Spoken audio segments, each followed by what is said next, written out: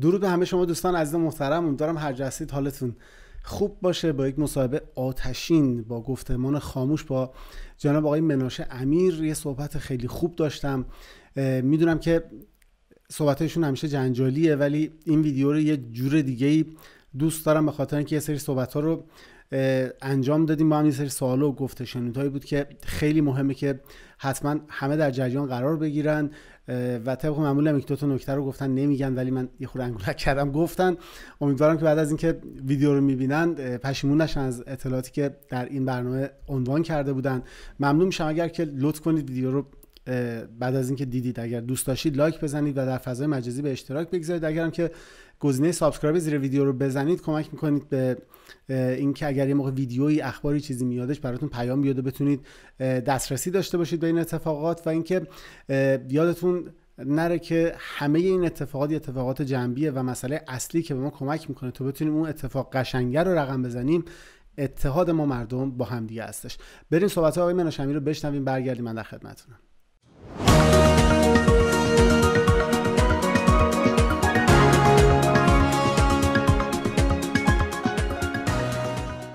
عرض ادب و درود دارم خدمت جناب آقای مناش امیر. ممنونم که در این فرصت کوتاه این امکان رو فراهم کردن که بتونم میزبانشون باشم و باز هم زحمت داریم براشون می‌خوام سوال سخت بپرسیم. آقای مناش امیر خوش اومدی به اخبار خاموش.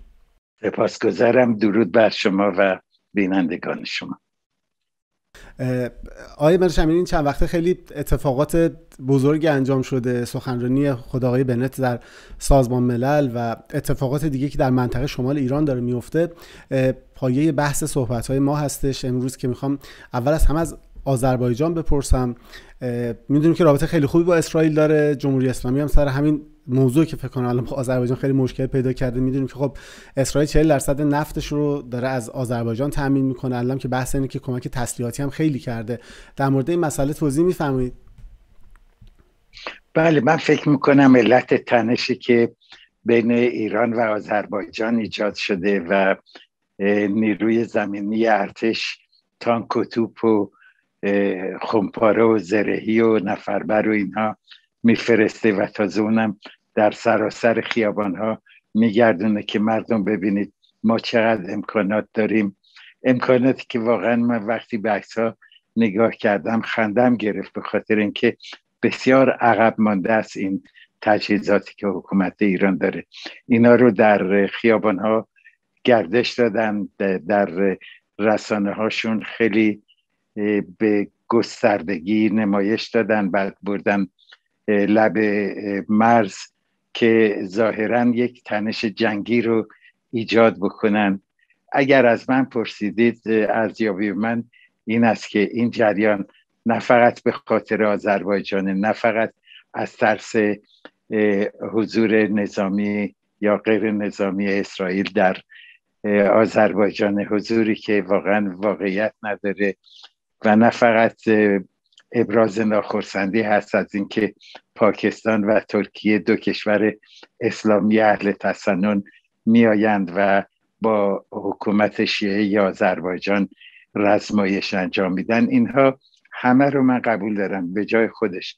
ولی احساس می‌کنم که حکومت ایران داره این تب جنگی رو بالا می‌بره این بحران نظامی رو ایجاد می‌کنه به خاطر اینکه مردم ایران رو از اون از لبه خیزش عمومی دور بکنه و ادعا بکنه که وطن در خطر یه جنگ تازه رو یا یه درگیری نظامی محدودی رو با همسایه شمالی ایجاد بکنه به شیوه جنگ هشت ساله با عراق که به مردم بگه خاموش بشید اعتراض ها رو قطع بکنید وطن در خطره و ما می‌خواهیم که برویم و وطنمون رو نجات بدیم. این احتمال داره که این یکی از محاسبات عمده حکومت ایران باشه و نه به خاطر اون نزاع جزئی که بین ایران و آذربایجان به وجود اومده بر سر کامیون هایی که از خط مرزی عبور می‌کنن. جایی که آذربایجان میگه ما گرفتیم این دیگه مال ماست. ما خاک ارمنستان نیست و شما بهتون حق عبور میدین ولی کامیون های شما باید حق عبور مالیات عبور بپردازن و حکومت ایران خشمگینه. این به نظر من یک بازی کوچکه. بازی بزرگتر این است که اینها می‌خواهند که به مردم ایران چنین القا بکنن که وطن در خطره و از اعتراض ها دست بردارید. بفرمایید. آیه امیر تو کاملا درسته؟ ولی ممکنه مثلا میگم اون بحثی که سر سوختگیری F35 داشتیم در آینده در آذربایجان مثلا انجام بشه چون روابطشون خوبه بالاخره ممکنه یه جورایی بتونن از اون امکانات هم استفاده کنن. چون حالا در خبرها اومده که اسرائیل پهپاد و خود موشک های بالستیک هم در اختیار آذربایجان گذاشته که حالا اصلا چیز بدی نیست این اتفاق ولی ممکنه که مقدار دوستی صمیمیت‌تر باشه. بعدا اگه احتیاج به سوختگیری داشته باشن F35 به جای که منت عربستان امارات و اینا رو بکشن از آذربایجان بیان. من مسلما به این پرسش شما پاسخ نخواهم داد. به خاطر اینکه اینا مسائلی است که مسائل استراتژیکه که نمیشه به صورت کامل و علنی مطرح کرد ولی اشتباه نکنید.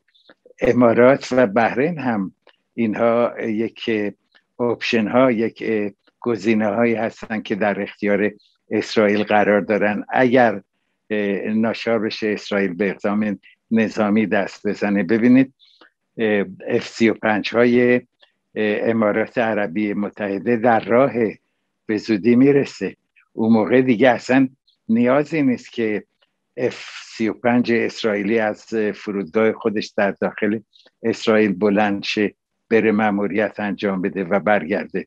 خربانان اسرائیلی می‌تونن محرمانه و مخفیانه برن امارات و برن دوبه ابودبی یا هر جای دیگری که پایگاه های نظامی امارات هست و از اونجا سوار F-35 های امارات بشن و برن عملیات خودشون رو انجام بدن. این راه بسیار نزدیکتری هست برای اسرائیل. ولی علاوه بر اینکه گفتم که حکومت ایران می‌خواهد که یک بحرانی رو ایجاد بکنه به این هدف که افکار مردم ایران رو از وضع ناگوار داخلی منحرف بکنه یک مسئله دیگر هم هست و اون افزایش همکاری های آذربایجان هست با اسرائیل که حکومت ایران اون رو یک خطر می‌دونه. مثلا می‌گویند که این اسنادی که اسرائیل از شوراباد انباری در شوراباد تهران برداشت و به اورشلیم آورد از کجا رد شد؟ از آذربایجان رد شد. این رو نه من می‌تونم تایید بکنم نه می‌تونم تکذیب بکنم. ولی این احتمالی است که حکومت ایران مطرح می‌کنه بنابراین ای آذربایجان شما در یک امر بسیار مهم امنیتی حکومت اسلامی ایران آمدید و با کشور صهیونیستی قاسب همکاری کردید.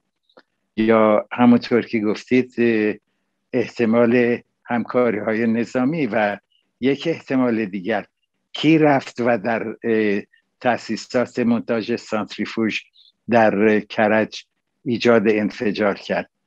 ادعا می‌کنن که ممکنه پهپادهای اسرائیلی بوده که از آذربایجان بلند شده.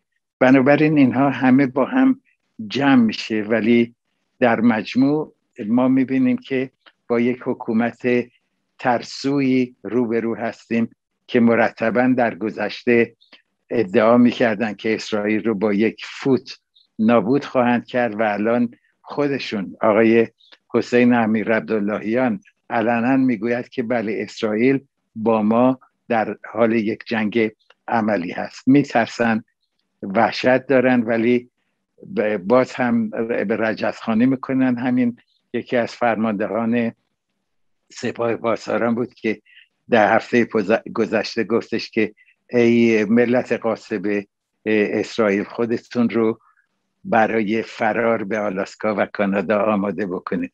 بعدم اسم این رزمایش خودشون رو چه می‌گذارن؟ فاتحان خیبر. خیبر اون گذرگاهی بود در عربستان در دوران حضرت محمد که اونجا یهودیان رو مورد حمله قرار دادن و همه رو سر بریدن. و جنگ خیبر در بین مسلمانان متعصب این یک نشان پیروزی و قدرت مطلق اونها هست. آمدن اسمشو گذاشتن فاتحان خیبر. یعنی هدفشون از این رزمایش هشدار دادن به کشور یهودیانه. همون یهودیانی که در خیبر اونها رو نابود کردن. اینها همش لفاظی ها و بازی ها و تهدیدهای تو خالی و رجزخانی هایی است که یکی از هدف های عمدهش سرگرم کردن ملت ایرانه.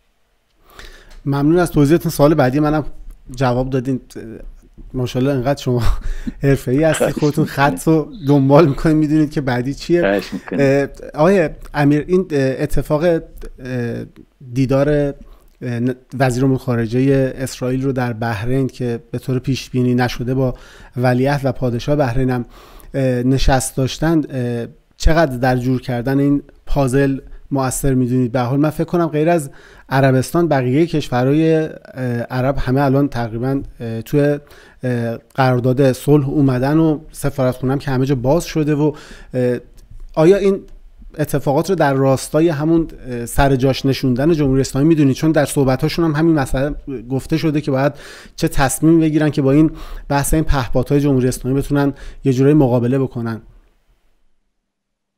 من فکر می‌کنم دیدار جالبتری که اتفاق افتاد این ملاقاتی بود که آقای یایر لپید در جریان دیدار خودش از بحرین با فرمانده نیروی دریایی ناوگان پنجم ایالات متحده در خلیج فارس داشت. مسلما اینکه پادشاه بحرین یعنی کشور و سرزمینی که در چهل سال اخیر مرتبا هدف حمله و تبلیغات و تحریکات حکومت ایران قرار داشته میاد و با وزیر خارجه کشور اسرائیل همون کشوری که رژیم ایران به نابودی تهدیدش می‌کنه ملاقات می‌کنه این مسلما تاثیر و مفهوم بسیار عمیق سیاسی و دیپلماتیک داره که مسلما نباید اون رو نادیده گرفت. ولی نه پادشاه بحرین و نه ولیعهد او افرادی نیستن که درباره امور نظامی و پهپادی با اسرائیل به گفتگو بنشینن. افراد دیگر و مقامات دیگری هستند که این کار رو انجام داده و می‌دهند و مسلما نیازی نیست که وزیر خارجه اسرائیل به منامه بره برای اینکه درباره این موضوع بحث بکنه. این گونه مسائل در دیدارهای محرمانه بین مقامات ارشد ارتش ها در جریان هست که معمولا دربارش حرف نمی‌زنن و چیزی نمی‌گویند. تا اینجا. خواهش کنم من مطلب از روزهای خودتون خوندم. من حالا البته دقیق ننوشته که کی با کی صحبت کرده. اما آقای امیر صحبت هایی که آقای بنت چند وقت داره انجام میده در رابطه با این طرح جایگزین می‌تونید اشاره کنید که طرح جایگزین چی می‌تونه باشه؟ جایگزین ما اطلاعات دقیقی در این باره نداریم ولی طرح جایگزین می‌تونه این باشه که به جای یک اقدام نظامی مستقیم علیه تاسیسات اتمی ایران و تاسیسات مشکیش و حالا تاسیسات پهپادیش یک سلسله اقداماتی باشه که عقب بیاندازه یا مانع بشه یا خونسا بکنه. و اینها مسائل بسیار پیچیده است که شامل امور نظامی میشه اطلاعاتی میشه و حتی اقتصادی و دیپلماتیک میشه که راههایی رو انتخاب بکنن که جنگ نباشه ولی به هدف اونها رو نزدیک بکنه و به هدف برسونه. به هر حال با توجه به اینکه دولت پرزیدنت بایدن به ویژه بعد از اونچه که در افغانستان رخ داد حاضر نیست وارد یک ماجرای نظامی تازه‌ای بشه. آمدن اسرائیل آمده و یک راههای غیر نظامی رو تحریزی کرده که الان مقامات هر دو طرف دارن دربارش تصمیم می‌گیرن. همین روزهای آینده است که دبیر شورای عالی امنیت ملی اسرائیل دوباره بارها رفته ولی دوباره در یک هیئت قراره که به واشنگتن بره و این مسائل رو مورد بحث و بررسی. آقای امیر اکسیوس که مطلبی نوشته بود که آقای بنت نمی‌خواد این بحث ابهام هسته ای رو الان حل کنه. یعنی هنوز در اون حاله ای از ابهام در رابطه با این مسئله حالا نه تنهایشون همه صحبت می‌کنن که آقا در یک مرحله رسیده ولی از اون مرحله فعلا جلوتر نرفته. خود شما فرمودید که مثلا برای اینکه این تلاش رو تبدیل به یه بمب خودمون روز نیره خانمان برانداز بشه لنگ دستخط یا استفتای خامنه ایه آیا همچنان بر این باور هستید که خامنه ای انقدر مثلا سه صدر داره انقدر آدمی هستش که عجله نداره واسه خونریزی واسه قدرت برای اینکه یه چیزی برای شونه کشیدن داشته باشه که گفته برید به یه مرحله برسونید همونجا پاوز بزنین تا من گفتم بعدا اونو برین. هنوزم در همین باورین چون زمزمه هایی که خود آقای بنت در سازمان ملل گفته گفته که سرعتش رو خیلی بیشتر کرده برای رسیدن به این اتفاق. بله ببینید مسئله سه صدر نیست. مسئله در این است که هزینه و بهایی که ما باید بپردازیم چقدر خواهد بود. ببینید اگر خامنه ای دستور بده که اوکی الان به مرحله رسیدید برید بمب رو تولید بکنید مسلما این دستور خامنه هر اندازه هم که محروانه و مخفیانه باشه این درز می‌کنه. و وقتی که درس کرد و علنی شد دیگه درگیری جنگی و بمباران تاسیسات حکومت ایران حتمی خواهد بود. درسته که قدرت نظامی و تهاجمی سپاه پاسداران رو نباید دست کم گرفت. کاملا درسته یک قدرت واقعیه و ممکنه که زیانهای سنگینی رو وارد بکنه. ولی در مجموع نیروهای مسلح حکومت ایران بسیار ضعیفتر و ناتوانتر از اون هستن که یه ضربه رو بزنن و ضربه نخورن و ضربه خوردن برای اونها ممکنه به بهای ادامه حکومتشون تمام بشه. مسلما اگر یک درگیری نظامی در داخل ایران رخ بده فرض کنید که تاسیسات اتمی موشکی پهپادی غنیسازی اورانیوم اینها بمباران بشه سپاه پاسداران و نیروهای مسلح حکومت ایران تمام هم غمشون متوجه اون جریان میشه که با دشمن خارجی رویارویی بکنن. و اون موقع است که ملت ایران فرصت پیدا خواهد کرد که برخیزه قیام بکنه به خیابان بریزه و حتی بیت رهبری رو تصرف بکنه و خواهان برانداختن رژیم باشه. اینها همه محاسباتی است که اگر هم علی خامنه ای نمیدانه و نمی‌توانه ولی مسلما مشاورانش به او گوشزد خواهند کرد. بنابراین ارزیابی که تا این لحظه وجود داره این است که خامنه ای نه از روی صدر بلکه از روی محاسباتی و توصیه های فرمان تولید سلاح هسته ای رو نداده به ویژان که حکومت ایران هنوز همه مسائل مربوط به تولید بمب رو حل نکرده. هنوز مشکلاتی در این زمینه دارن که باید باش رویارویی بکنن و زمانگیر هست. بنابراین تصور اینه. ولی با وجود تمام آنچه که گفتم فراموش کنید و به حساب بیارید که این احتمال هم هست که فردا صبح شما از خواب بیدار میشید حکومت ایران اعلام بکنه که سرتون کلا گذاشتیم بوم رو داریم و آماده عملیات هست. ولی باز اون هم بسیار خطرناکه. به خاطر اینکه اگر حکومت ایران یه دونه بمب درست کرده و ممکنه که این رو علیه دیگران به کار بیاندازه دیگرانی هستن که 100 تا بمب دارن 200 تا بمب دارن موشک هایی دارن که به ایران می‌رسه و اون موقع یک ویرانی بزرگی برای خود حکومت به وجود خواهد آمد. اینها همه محاسبات بسیار دشواری است که باید در نظر گرفت. ارزیابی این است که حکومت ایران خودش می‌دونه علا رقم همه رجزخانی ها خودش می‌دونه که چقدر ضعیف و آسیب پذیره ولی می‌خواهد که دنیا رو بترسونه. بنابراین میآید و تهدید می‌کنه و پتانسیل خودش رو نشان میده به خاطر اینکه امتیازاتی کسب بکنه. و الان هم اگر مذاکرات هسته‌ای در وین وین آغاز بشه حکومت ایران با این شیوه خواهد کشید که امتیازات بیشتری بگیره. همه ببینید در دنیای سیاست همه احتمالات ممکنه که مطرح باشه. ولی آنچه که عقل و منطق در حال حاضر حکم می‌کنه و تعیین می‌کنه این است که خامنه ای هنوز دستور تولید بمب رو نداده. اگر اجازه می‌دید یه تصاویری ببینیم بعد برگردیم بیام ادامه بحث با هم داشته باشیم. خواهش می‌کنم.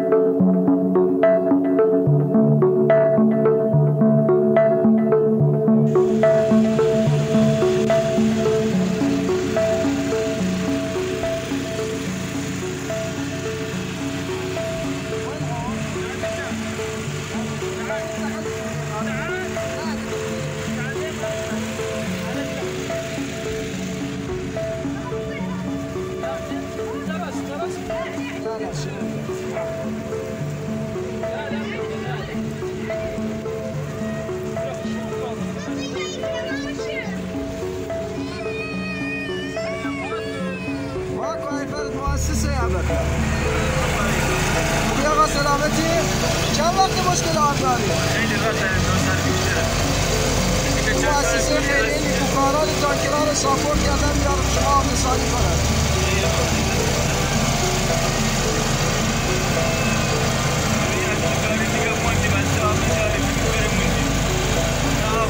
انشالله بتونن سهمیتون رو بیشتر بکنن خواهش می‌کنم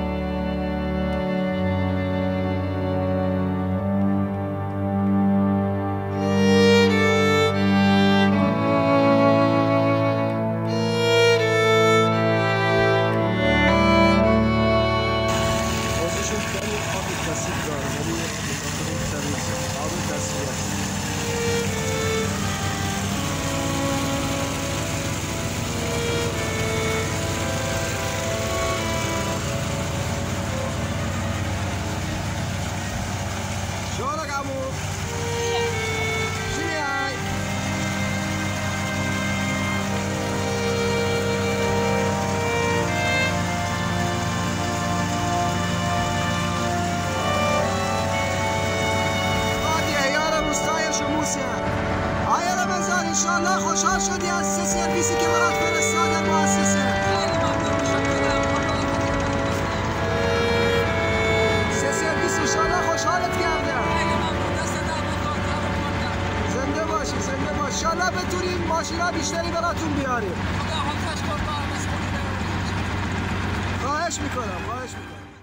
اگر تصمیمتون رو گرفتین و می‌خواین به هموطنهای محرومتون کمک کنید برید به آدرس سایت نوروز یا تلفن رو بردارید و با شماره تلفن یک 704 544 7800 تماس بگیرید.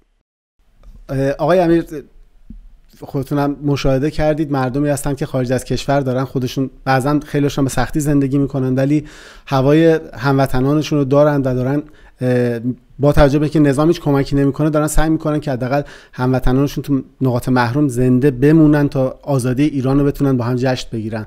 نظرتون چیه؟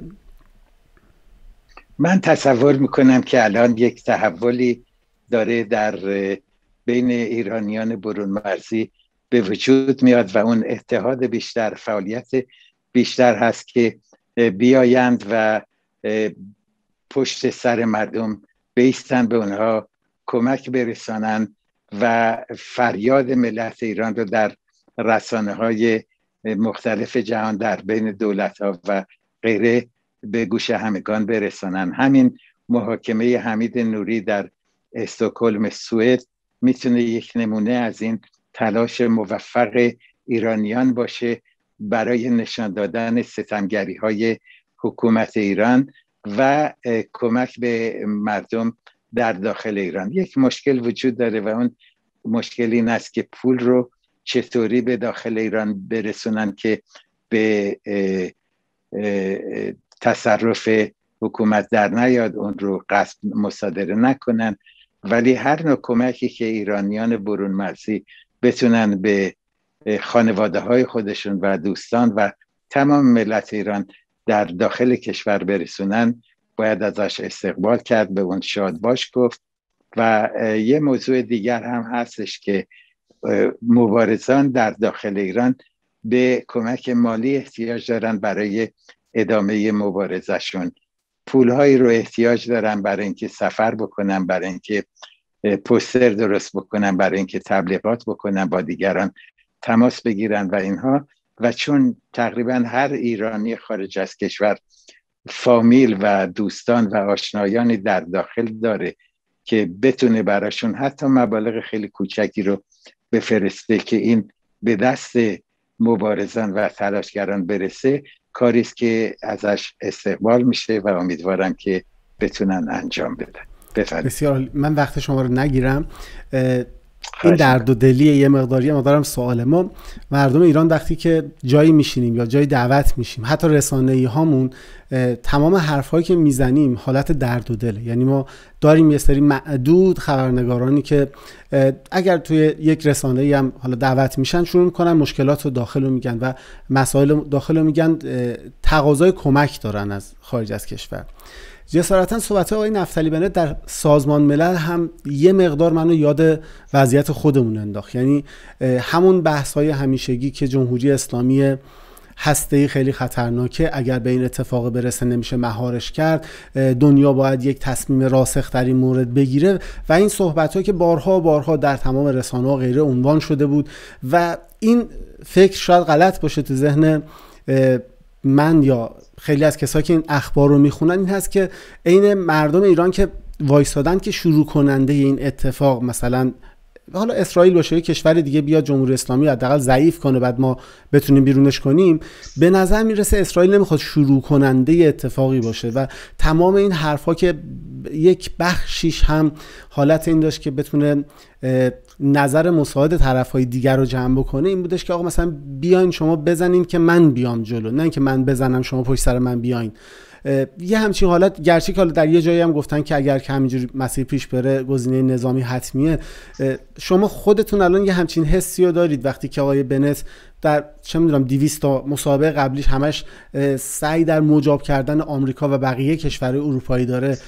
فکر می‌کنید شما هم که اسرائیل می‌خواد اولین نفر نباشه که میره جلو؟ خیر من این بررسی رو قبول ندارم. اولا آقای نفتالی بنت در سخنرانیش در مجمع عمومی سازمان ملل دوباره به قصاب تهران و ابراهیم رئیسی اشاره کرد از مردم ایران جانبداری کرد ستمگری های رژیم رو در برابر افکار عمومی دنیا و دوربین های تلویزیونی سراسر جهان بیان کرد و غیره و غیره. و در عین حال نفتالی بنت یک جمله دیگر هم گفت به زبان عبری گفت ایمانی ایم اینانی میلی. اگر من به فکر خودم نباشم چه, چه کسی به فکر من خواهد بود؟ یعنی اگر شما اقدام نکنید ما به تنهایی عمل خواهیم کرد. اینکه شما میگید که منتظرم که اول دیگران پیشگام بشن مسلمه. باید دنیا رو بیدار کرد به این خطرات آشنا کرد که اگر روزی دولت اسرائیل بخواهد حمله ای رو بکند با مخالفت دنیا و حتی نکوهش دنیا روبرو نشه. این متقاعد کردن افکار عمومی دنیا پیش از حمله یک امر بسیار بسیار لازم و ضروری هست. ببینید متاسفانه بسیاری از افراد اسم دین رو نمی‌برم اسم کشورها رو نمی‌برم. ولی اسرائیل در خارج از کشور دوستان زیادی نداره. در حدی که وقتی که حماس میآید و 4300 تا موشک رو به طرف اسرائیل پرتاب می‌کنه بدون اینکه اسرائیل به کوچکترین اقدام تحریک آمیز علیه حماس یا مردم غزه دست زده باشه این کار رو می‌کنه. بعد در سراسر دنیا در آلمان فرانسه حتی ایالات متحده تظاهراتی به راه میاندازند و علیه اسرائیل و حتی به یهودیان کشورها حمله می‌کنن این نشون میده که اسرائیل برای اقداماتش نیاز به درک و تفاهم بین المللی داره. نیاز به این داره که کشورهای دنیا به جای نکوهش اسرائیل که از موجودیت خودش دفاع می‌کنه ازش طرفداری بکنن. بنابراین تمام این هشدارها به خاطر بسیج کردن افکار عمومی دنیا و کشورهای دنیا هست علیه رژیم ایران. ولی همونطور که گفت ایمن انیلولی میلی اگر من به فکر خودم نباشم چه کسی به فکر من خواهد بود اقدام خواهد کرد. و این رو باید در نظر گرفت. هیچ لزومی نداره که اسرائیل اولین گام رو برداره. دنیا باید این گام رو برداره. تا اینجا. بسیارم عالی. من امیدوارم که این کشورهایی که حداقل می‌تونم بگم الان توی این چند ماهی که از دوره بایدن شروع شده تقریبا خیلی از کشورها خوش رو به خواب زدن. یعنی می‌دونن چیه ولی نمی‌خوان در موردش صحبت کنن. این اتفاق خیلی دردناکه. به عنوان آخرین سال آقای گانس رفت در فلسطین تونست با دولت خودگردان فلسطین یه حالا توافقی بکنه. حتی گفت اگر کمک مالی دارین لازم دارین نظامی لازم دارین به هر حال اونجا رو سعی کرد به نوعی امن کنه که حالا من خیلی آمیانه بگم چی لازم دارید در اختیارتون بذاریم که نذارید از سمت فلسطین موشکی سمت اسرائیل پرتاب بشه. اما این اتفاق در مورد لبنان هنوز یک علامت سوال بزرگه که اگر اتفاقی در بگیره اون دو تا کارخونه زیرزمینی تولید موشک اون حالا عددی که اگر اشتباه نکنم خود آقای گانس در یک مصاحبه چند ماه پیش یک عدد 100 هزار موشک موجود در لبنان رو گفتن. جمهوری اسلامی یه طرف داستانه ولی اون بغل گوش اسرائیل لبنان هستش و هر گنبد آهنینی هم بخواد باشه دیگه مگه چند تا رو در آن واحد می‌تونه بزنه و خیلی شرط خطرناک می‌کنه. برنامه به نظر شما اسرائیل داره برای مهار لبنان و حزب الله ببینید دوست عزیز اسرائیل برای هر احتمالی همیشه برنامه های آماده داره. نگران نباشید. این احتمال که حزب الله بیاید با 120 هزار موشک و خونپاره که داره به اسرائیل حمله بکنه. همیشه وجود داشته. اولین بارم نیست. کسی هم افشاگری نکرده. این وجود داشته. اسرائیل برنامه خودش رو داره. تدارکات خودش رو دیده. و بدانید که حزب الله در دوازده سیزده سال اخیر جرأت نکرده و امیدواریم که در آینده هم جرأت نکنه که به اسرائیل تعرض بکنه. به خاطر اینکه حسن نصرالله به خوبی می‌دونه که اگر چنین دستی از پا خطا بکنه چنان ضربه بهش وارد خواهد شد که دیگه کاملا فلج بشه و شاید نابود بشه. ببینید در جنگ یازده روزه موشکی که حماس و جهاد اسلامی ادعا می‌کنن که پیروز شدن ببینید چه خرابی هایی در تاسیسات نظامی و تهاجمی حماس و غیره به وجود اومد. میگن 500 میلیارد دلار خسارت وارد اومد. حساب بکنید که هر کدوم از این 4300 موشکی که به سوی اسرائیل پرتاب کردن براشون چه هزینه گذافی داشته. نگران نباشید اینها رو حزب الله می‌دونه حماس می‌دونه جهاد اسلامی می‌دونه ولی تحریکات حکومت ایران متوقف نخواهد شد. من سپاسگزارم از شما و پرسش هایی که مطرح کردید و با شما خداحافظی می‌کنم. منم سپاسگزارم که زمان گذاشتین تشریف آوردین به اخبار خاموش. امیدوارم که همچنان سلامت در کنار خانواده باشید و آخر هفته خوبی براتون آرزو مندم خدا نگهدار. پاینده باشید. خداحافظ.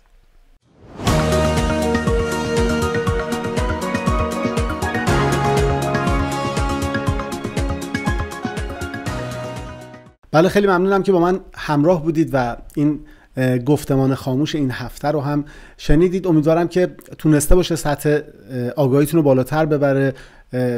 با توجه به صحبت هایی که انجام شد من خودم بعد از صحبت یه یه نشستم با خودم تجزیه تحلیل کردم که اگر اینی که اینجوریه اینجوری بشه بعدش چی میشه بعد اون چیه؟ بعد خیلی از تیکه های پازل کنار هم قرار گرفتش. تقریبا یک تصویری دارم می‌بینم از اتفاقاتی که قرار در آینده نزدیک بیفته.